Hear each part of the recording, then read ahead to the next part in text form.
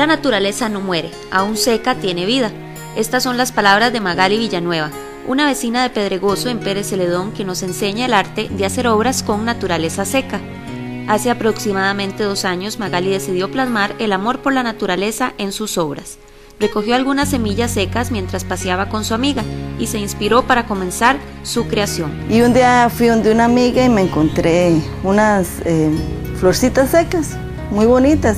Y le digo, mira, qué linda esa para un jarrón mío, qué lindo. Y me lo traje. Y en eso íbamos caminando y encontramos un montón.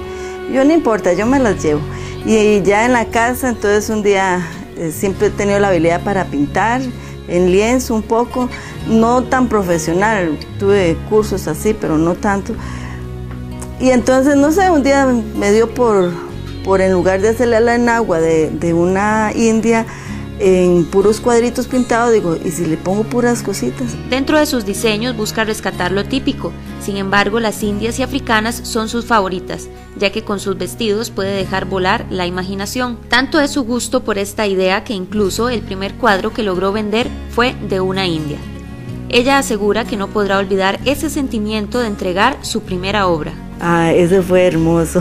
Es lindo porque cuando uno vende la primera vez, o al menos yo, eh, primero le doy una pequeña bendición, ¿verdad? Porque uno es un arte, es algo que, que, nace de uno.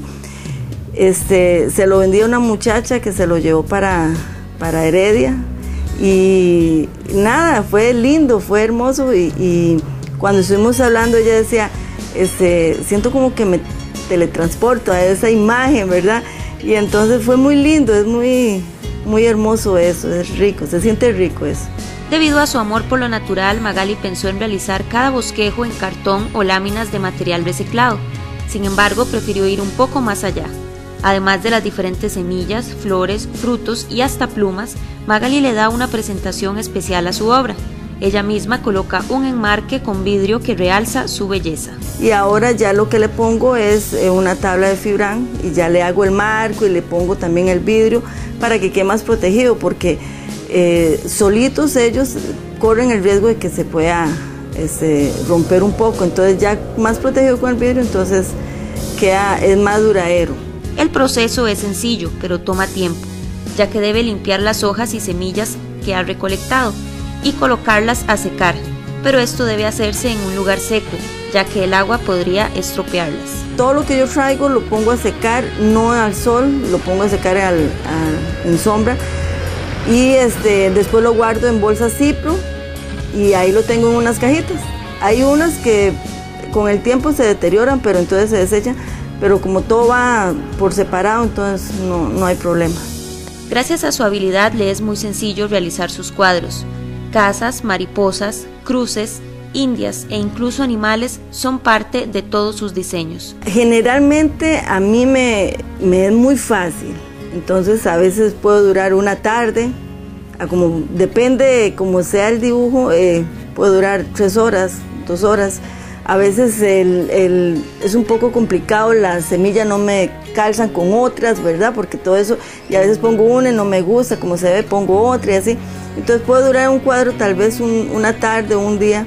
Ahora en cada uno de sus paseos dedica cierto tiempo al trabajo, ya que su instinto es buscar materiales únicos para sus obras, y esta estrategia le ha funcionado, ya que cuenta con semillas que poca gente posee. Participado en varias exposiciones, eh, he ido a Palma Norte, a Puerto Jiménez, eh, tengo una invitación para eh, San Ramón de Alajuela, y en eso estamos. Este año ya empecé con eso y uno se va dando a conocer poco a poco. Entonces ahí vamos. Su participación en diferentes ferias le ha permitido colocar su arte en varias ventas de souvenirs, incluso hasta en el mercado central de San José. Sin embargo, su sueño añorado es poder realizar una exposición de gran alcance. Hojas, plumas, semillas redondas, de colores, cuadradas, con espinas o lisas un sinfín de naturaleza seca que en conjunto con su diseño original se convierten en un arte único.